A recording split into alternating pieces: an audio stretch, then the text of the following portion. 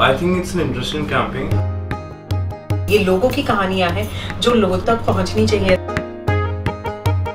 telling the stories of people who uh, really matter, people who make our life convenient. To hear the stories about these people who have lived their lives as professionals but are now trying to be entrepreneurs, small and medium businesses, our handicrafts are all being given an opportunity to tell their story. This is for the sellers and I think that's the best part about it. जिन लोगों के बारे में हम बता रहे हैं उन्होंने बहुत मेहनत से किसी भी छोटे से छोटे व्यवसाय को शुरू किया। I think they are an inspiration in themselves. खुशियाँ दस्तक देती हैं आपको तो फिर बड़ा अच्छा लगता है। दस्तक खुशियों की। दस्तक खुशियों की। दस्तक खुशियों की। दस्तक खुशियाँ। दस्तक खुशियों की। दस्तक खुशियों की। दस्तक खुशियों की। दस्तक खुशियों की।